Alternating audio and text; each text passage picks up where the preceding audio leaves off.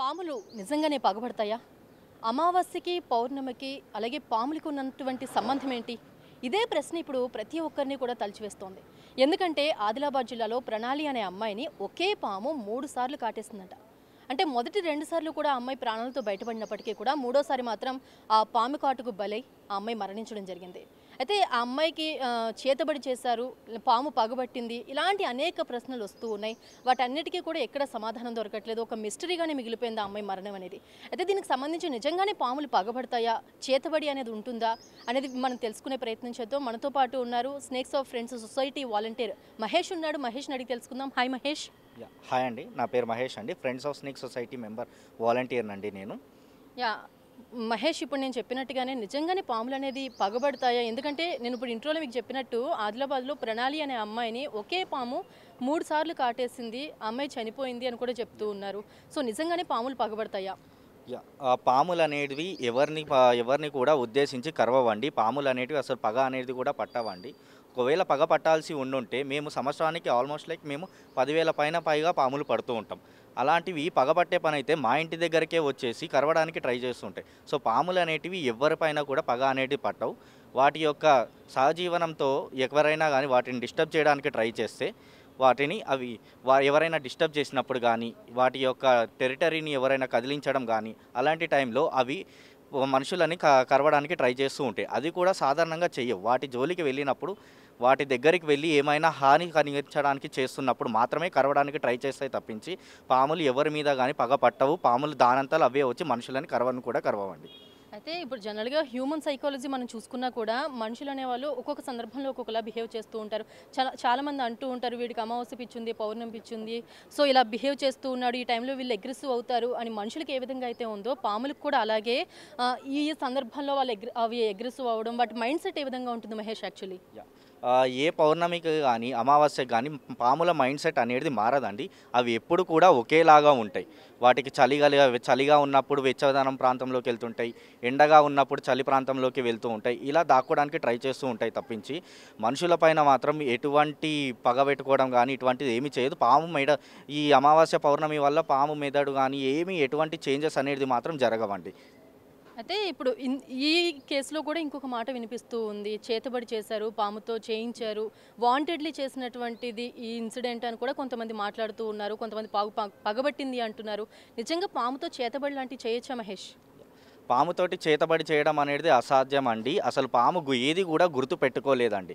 ఏదైనా గుర్తు పెట్టుకునే జ్ఞాపక శక్తి కొంచెం మెదడు పెద్దగా ఉన్న వాటికి మాత్రమే సాధ్యమవుతుంది కానీ పాము అనే బ్రెయిన్ వచ్చేసి మనకి బఠానా గింజంత మాత్రమే ఉంటుంది. సో అది మనుషులని గుర్తు పెట్టుకోవడం వా మనుషు ఫస్ట్ ఆఫ్ ఆల్ చెప్పాలంటే పాముకి ఎటువంటి చెవులు అనేది కూడా ఉండవు. సో మనిషిది చెప్పింది వినాలన్నా కానీ ఎటువంటిది కూడా వినిపించదు. సో అటువంటిది ఒక మనిషిని చంపడానికి పాములని ఎలాగా ఏ విధంగానూ కూడా ట్రైన్ అనేది చేయలేము. పాములు ఆ విధంగా సహకరించవు కూడా. మరి అయితే ఇప్పుడు ఈ ప్రణాళి ఇన్సిడెంట్కి సంబంధించి మీరు పగబట్టు అని చెప్తున్నారు. మరి ఒకే పాము లేకపోతే వేరే వేరే పాము అనుకోవచ్చు ఆ అమ్మాయిని మాత్రమే ఎందుకు టార్గెట్ చేసింది? మిగతా ఎవరున్నా కూడా ఎప్పుడు ఎవరి జోలికి వెళ్ళలేదు. ఓన్లీ ఆ అమ్మాయి జోలికి మాత్రమే వెళ్ళింది. మూడు సార్లు కూడా ఆ అమ్మాయినే కాటేసింది అని చెప్తున్నారు. మరి ఈ ఇన్సిడెంట్కి సంబంధించి మీ అబ్జర్వేషన్ ఏంటి మహేష్? ఇప్పుడు మనకి ఏందనంటే అక్కడ ఎంతమందికి అవుతుంది అనేది కూడా తెలియదండి. సో అమ్మాయికి మూడు సార్లు ఖర్చిందంటుంది ఇది ఒక కోఇన్సిడెన్స్ అయి ఉండొచ్చండి సో ఈ అమావాస్య పౌర్ణమి తోటి సంబంధం అనేది ఏదీ లేదు. అటు అదే విధంగా పాములు కూడా పగబట్టి ఆ మనిషిని కరవడానికి స్వచ్ఛందంగా అక్కడికి ఏమీ కూడా రావండి. ఒక కోఇన్సిడెన్స్ లాగా ఇది అయి ఉంటుంది తప్పించి ఇది ఉద్దేశపూర్వితంగా కానీ పాము ఎప్పుడు కూడా చేయదండి ఇది. పాము మామూలుగా జనరల్గా మనం ఎలా అయితే ఇంట్లో కొన్ని కొన్ని జంతువులు పెంచుకుంటాం అవి మనల్ని చాలా వరకు గుర్తుపెట్టుకుంటాయి. కానీ పాములు అనేవి నిజంగా ఒక మనిషిని గుర్తుపెట్టుకుంటాయా? యా మనం చూస్తున్నప్పుడు అయితే చాలామంది ఫారినర్ ఫారిన్ స్టేట్లలో మనకి పాములు పెంచుకోవడం కానీ అలాంటివి చేస్తూ ఉంటారు. సో మన ఇండియాలో అనేది అది ఇల్లీగల్ అండి. సో పాములు కూడా ఎప్పుడు ఒకే విధంగా ఉండవు. సో వాటికి ఆహారం దొరికినంతసేపు అవి కొంచెం స్వచ్ఛంగానే ఉంటాయి. ఎటువంటి ప్రాణహాని చేయడానికి తలచూచవు అవి. సో ఎప్పుడైనా కానీ వాటికి ఏదైనా ఇబ్బంది కలిగినప్పుడు ఎటువైనా ఏదైనా ప్రమాదం జరుగుతుందన్నప్పుడు అవి మనుషులని కరవడానికి చూస్తుంటాయి. ఇప్పుడు వాళ్ళు పెంచుకున్న పాములు కూడా అప్పుడప్పుడు వాళ్ళ యజమానుల్ని కరవడం కూడా మీరు చూస్తూ ఉంటారు. ఈ కేసెస్ కూడా చాలా అయినాయి కూడా ఇవన్నీ. అయితే ఈ ప్రణాళి ఇన్సిడెంట్కి సంబంధించి ఎందుకు ఇంతలా పౌర్ణమి అమావాస్య అంటున్నారంటే ఆ అమ్మాయిని కాటేసిన మూడు సందర్భాలు కూడా ఒకసారి పౌర్ణమి రోజు ఒకసారి అమావాస్య రోజు రీసెంట్గా హోలీ రోజు మాత్రమే ఆ అమ్మాయి చనిపోవడం జరిగింది. మూడు సార్లు కూడా ఈ ప్రత్యేకమైనటువంటి సందర్భాల్లో మాత్రమే ఆ అమ్మాయి మీద అటాక్ చేయడం జరిగింది పాము అనేది. సో ఇది ఎంతవరకు కరెక్ట్ అంటారు? యా ఇది ఇది ఒకటైతే ఇది చెప్పలేమండి. ఇది ఒక కోఇన్సిడెన్స్ లాగా అయిపోయింది ఇది ఒక కేసు అనేది కూడా. సో ఏంటంటే ఎంతోమందికి రోజు చ పాము కాట్లు అనేది అవుతూ ఉంటాయి. ఎంతోమంది బలవుతూ ఉంటారు. కానీ ఈ యొక్క ఈ యొక్క ప్రాణ ప్రాణహాని మాత్రం చాలా కోయిన్సిడెన్స్గా జరిగింది. ఇది చాలా చెప్ప ఎటువంటి కన్ఫ్యూజన్ చాలా కన్ఫ్యూజన్లో పడేసిన ఈ విషయం అండి ఇది. ఎవరు కూడా ఏమి సమాధానం చెప్పలేనటువంటిది ఇది. ఒక కోయిన్సిడెన్స్ లాగా జరిగిపోయింది ఇది. అయితే మన పెద్దవాళ్ళు కూడా చాలా సందర్భాల్లో చెప్తూ ఉంటారు కాల సర్పదోషం ఉంది లేకపోతే ప- పాము పగబట్టింది పాము పొర విడిచింది ఇలా అనేక మాటలు మాట్లాడుతూ ఉంటారు.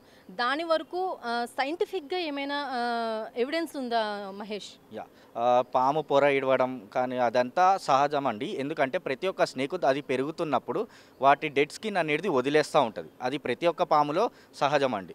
సో అలాగే పాములు శాపం గురి చేసాయ పాములు ఎప్పుడు కూడా శాపాలు కానీ వాటి వల్ల దోషాలు కానీ ఎటువంటివి రావండి. ఎందుకనంటే పాములు కూడా ఒక సహజీవనం మనుషులతో పాటు జీవిస్తున్నాయండి. అవి కూడా మన ప్రక్రియలోనే జీ భాగస్వామ్యులు అవి. పాములు ఎంతో ఉపయోగ ఉపయోగకరంగా ఉంటాయి. ఎలా అంటే మనకి ఫార్మర్స్ ఎలా అయితే పంటను పండిస్తారో ఆ పంటను పండించేటప్పుడు ఏవైతే ఎలుకలు వాటిని కన్నాలు పెట్టేసి ఆ పంట ధాన్యాలని నాశనం చేస్తూ ఉంటాయి వాటిని తినేసి మన పంట ధాన్యాలను కాపాడుతూ ఉంటాయి. సో ఈ విధంగా పాములు అనేది మనకి మనుషులకి ఉపయోగపడుతుంది. ఎటువంటి శాప దోషణాలు కానీ దోషాలు కానీ ఎటువంటి ఏవి కూడా పాముల వల్ల కలగవండి మనుషులకి. ఇవన్నీ ఒక అపోహలు మాత్రమే తప్పించి ఏమీ ఉండవండి ఇవన్నీ.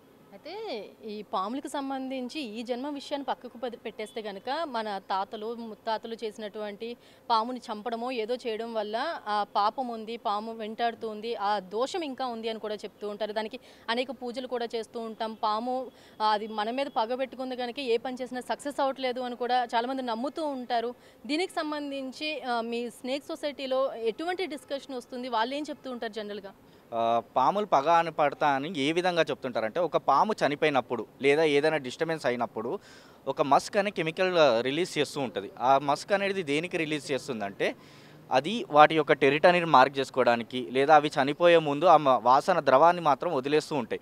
సో ఆ పాము చనిపోయినప్పుడు చుట్టుపక్కల ఏవైతే పాములు ఉంటాయో వాటి యొక్క వాసనని గ్రహించి ఇక్కడ నాతోటి జతగట్టడానికి ఒక వేరే పాము నాకు రెడీగా ఉందని చెప్పేసి ఇంకో పాము అక్కడికి రావడం జరుగుతుంది తప్పించి అదే పాము చనిపోయి మళ్ళీ బతికి చంపడానికి వచ్చిందని ఎటువంటి ప్రూఫ్ లేదండి ఏది కూడా నిజం కాదండి. ఒక వేరే పాము దాంతో ఆ వాసనకి అట్రాక్ట్ అయ్యి ఆ పాముతోటి జతగట్టడానికి అక్కడికి వస్తుంది తప్పించి ఇంకో అదే పాము మాత్రం తిరిగి రాదండి. సో ఒక వాలంటీర్గా మీరు ఒక పాముని పట్టుకోవడానికి వెళ్ళినప్పుడు ఆ పాము యొక్క బిహేవియర్ ఎలా ఉంటుంది? చాలా పాములు పట్టుకుని ఉంటారు కదా. ఇప్పటివరకు ఎప్పుడైనా ఒక పాము మిమ్మల్ని వెంటాడడం కానీ మీ మీద అటాక్ చేయడం కానీ జరిగింది ఎప్పుడైనా? యా ఇప్పటివరకు మేము ఆల్మోస్ట్ ఎవ్రీ ఇయర్ మేము ప్రతి ఏటా మేము పదివేల పైన పాములు పడుతూ ఉంటాం. ప్రతి ఒక్క స్నేక్ యొక్క బిహేవియర్ కొంచెం చేంజింగ్గా ఉంటుంది. ఎలా అంటే కొన్ని వీక్గా ఉంటాయి కొన్ని స్ట్రాంగ్గా ఉంటాయి కొన్ని అటాక్ కొంచెం అటాక్ చేస్తూ ఉంటాయి ఇలా ఉంటాయి ప్రతి ఒక్క స్నేక్స్ ప్రతి ఒక్క స్నేక్ని ఒకే విధంగా డీల్ చేయలేం. సో వాటి యొక్క బిహేవియర్ని బట్టి చేంజ్ చేస్తూ ఉంటాం మేము. సో ఎంతో సురక్షితంగా వాటిని కాపాడడం తప్పించి చేస్తూ ఉంటాం తప్పించి ఏ పాము కూడా ఇప్పటివరకు మా మీద హాని చేయలేదండి. అంటే పట్టిన తర్వాత వాటిని వదిలేసిన తర్వాత మళ్ళీ రిటర్న్ వచ్చి మమ్మల్ని ఎప్పుడు కూడా కరవలేదు ఎప్పుడు కూడా కరవవు కూడా ఎవరిని కూడా. జనరల్గా మహేష్ పాము ఏ సందర్భాల్లో అది కొంచెం అగ్రెసివ్ ఉండే ఛాన్సెస్ ఉన్నాయంటారు? యా. పాములు ఎప్పుడైనా కానీ ఎప్పుడు ప్రశాంతంగానే ఉంటాయి వాటి జోలికి ఏదైనా వెళ్ళినప్పుడు ఒకటి పారిపోవడం కానీ లేదంటే ఎటువంటి పరిస్థితి లేనప్పుడు మనుషులని కరవడానికి మాత్రమే ప్రయత్నిస్తుంది తప్పించి ఎప్పుడు కూడా ఉద్దేశపూరితంగా మాత్రం ఎప్పుడూ చేయవండి.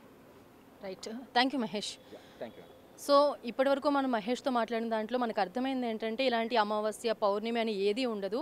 పాములు పగబట్టడం అనేది జరగనే జరగదని చెప్తూ ఉన్నాడు. ఎందుకంటే తనే లైవ్ ఎగ్జాంపుల్ అనేక పాములను తను పట్టుకుని అడవిలో వదిలేయడం కానీ లేకపోతే వాటిని సురక్షిత ప్రాంతాల్లో వదిలివేయడం లాంటివి జరుగుతూ ఉంటాయి. సో పాము పగబట్టడం అనేది జరగనే జరగదు. ఈ ప్రణాళి ఇన్సిడెంట్కి సంబంధించి అది యాదృచ్ఛికమే కావచ్చు కానీ వాంటెడ్లీ పాము పగబెట్టి ఆమెను కాటేయడం అనేది జరగదు అని కూడా చెప్తూ ఉన్నాడు వీడియో జర్నలిస్ట్ విజయ్తో శ్రావ్య హైదరాబాద్.